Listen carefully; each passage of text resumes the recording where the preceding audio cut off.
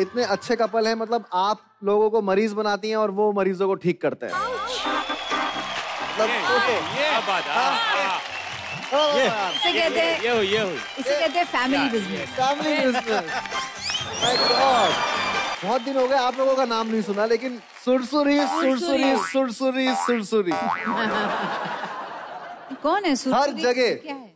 इनको बताओ। मेरी? भाभी हैं और वो स्टार हैं बहुत बड़ी स्टार हैं वो। ओहो। उनको बुलाने के लिए स्पेशली ओबामा टोबामा ट्रंप क्रम ये जो सुरसुरी की बात कर रहे हैं हम लोग आप इनसे ना ही मिले तो बेटर है। सर सर सर सर सुरसुरी मैम। ओ मैम। मैम। अभी से मैम हो गई। वाओ। तू बुला मैम। मैं सुरसुरी बुलाऊँगा। देखो ज़्यादा पैसे जब लोग कमाने लग जाते हैं उसके बाद वो सर और मैम हो ही जाते हैं। तो सुरसुरी मैम धर्मेश सर तो पुनीत सर शक्ति सर। साहिबान मेहरबान कदरदान नो फोटोग्राफ भाभी ओह ये लीजिए। थोड़ा दूर रहिए। अरे यही आ रहे मेरे पास। मैं तो इधर ही बैठा हूँ कब से। पास से पकड़ने की ज़रूरत नहीं है। आके साफ़ सारे कर रहे हैं। आपके बबल गम खाने के लिए। इतने सारे? ओ भाभी। डेट जी। रघु ब्रो। भाभी सेलिब्रिटी हो। हो नहीं। माधुरी डिस्ट्रिक्ट जी आई है। भाभी माधुरी दीक्षित। नहीं नहीं हमारे गाँव में इनके इतने फ़ैन है कि पूरे डिस्ट्रिक्ट का नाम ही माधुरी रख दिया है। हाँ। रघु भैया हाँ। हम मिल के आएँगे हम मिल अभी आप इंडस्ट्री के सबसे बड़े स्टार बन गए हो थोड़ा सुनो मुझे पता है आपका मिलने का मन हो रहा होगा लेकिन उसे कंट्रोल करो। आपको ऐसा दिखाओ कि आप फ़ैन हो ही नहीं किसी के ठीक है। हाँ। हम्म, ठीक है। हम्म। और वैसे भी हमारे पचास हज़ार की घड़ी में हमारा आराम करने का समय हो गया है। तो चलते अपने पाँच करोड़ वाले घर में? भाभी आपका ढाई करोड़ का घूंगो ये गिर गिर गया ये। जेठ जी हाँ। बहुत अच्छा डांस करते हैं आप। हमारा जो कंसर्ट होता है उसमें भाग लेंगे? पैसे वैसे का बात राघव हाँ मैं मैं आप कर मैं कर लूँगा। हाँ। मतलब आप चाहते हैं कि मैं आपके कॉन्सर्ट में नाचूं? कुछ काम मिल जाएगा आपको भी ऐसे यहाँ पे खाली बैठे हैं।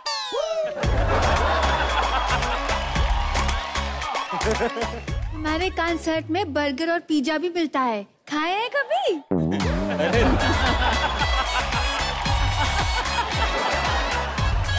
आप लोग ऐसे कॉन्सर्ट खड़े होके डांस करके करते हो या आपको दोनों पैर की ज़रूरत पड़ती है कॉन्सर्ट पे? एकदम फिट रहना होता है। फिट रहना होता है? हाँ जी, हाँ जी। अगले कॉन्सर्ट में अगर फिट रहना है हाँ तो जी। इधर बिल्कुल मत आना। है ना? वो जीएसटी की बात में बाद में कर लूँगा। और आजकल टीडीएस वगैरह भी करता है तो मैं वो सब ना क्योंकि हमारे वो चार्टेड देखो अकाउंटेंट भैया टाइम इज़ मनी हमरा साठ हज़ार की घड़ी में अब टाइम साठ हज़ार हो गया? साठ हज़ार भाभी पचास हज़ार की थी पचास हज़ार की थी अभी तो थोड़ी अरे देवरानी जी हमने पहना है तो उसका वैल्यू बढ़ गया है। सिर्फ़ दस हज़ार? दो मिनट में दस हज़ार बढ़ा है और पहनेंगे तो दस लाख तक पहुँच जाएगा। धर्मेश एंड पुनीत अपने आर्टिस्ट को बुलाओ और हमारा एंटरटेनमेंट किया जाए। भाभी फेवर बदल गए आपके। ये तुम दोनों की वजह से ये सब देखना पड़ रहा है आज मेरे को। सर आप पलट रहे हो सर। भी बोल रही है सर अभी इंसाफ तो। के लिए तो आपके पास आई थी। मेरे पास कोई इंशाफ इंशाफ नहीं चाहिए इसको मेरे को ना शुरू से ही चाहिए ना इंसाफ चाहिए मेरे को। एक्सक्यूज मी हमको पुनीत और धर्मेश पे बहुत तरस आ रहा है। कसम से मतलब मैं तो मैं तो मर रहे होंगे वापस से शादी करने के लिए। उनको तो जलन मच रही होगी। हमको लग रहा है कि सो के बाद उनको पता नहीं काम मिलेगा ना मिलेगा। तो पति पति छोड़ो हम इनको गोद ले लेगा आज के लिए सिर्फ़ इतना ही। अगर तुम लोग तो लाइक मारो और अगर तुम लोग नए हो तो क्या कर रहे हो यार? क्या कर रहे हो? सब्सक्राइब करो। वो जो लाल वाला बटन है उस पर ट्यूबलाइट फोड़ो या फिर गुब्बारे। मुझे नहीं पता बस क्लिक हो जाना चाहिए। और हाँ ग्रुप है और बहुत हज़ारों साल पुराना डांस फॉर्म है। उस उससे मैंने स्टार्ट किया था तो मैं उन मैम से आपको एक बार मेरी तरफ़ से आपको मिलवाना चाहता हूँ। यस प्लीज़ मैम यस आ जाइए।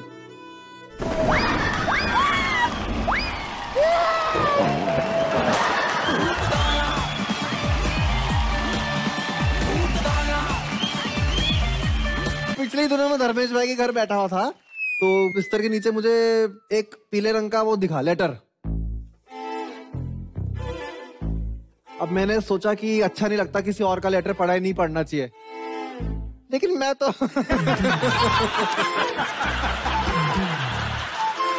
मेरा एक सवाल है। जानेगा क्या लोगे? इससे ज़्यादा कैसे जाएगी ये?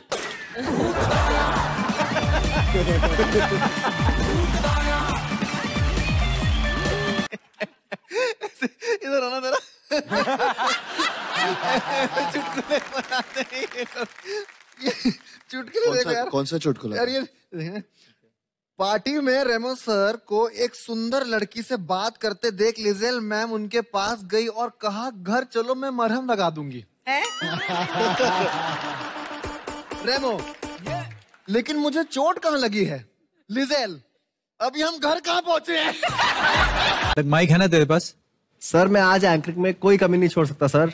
आज मेरे लिए स्पेशल दिन है सर सर आज मेरे को लड़की वाले देखने आने वाले हैं सर शादी के चक्कर में मत पड़ क्योंकि शादी के बाद हर मर्द का दर्द तू नहीं समझता भाई।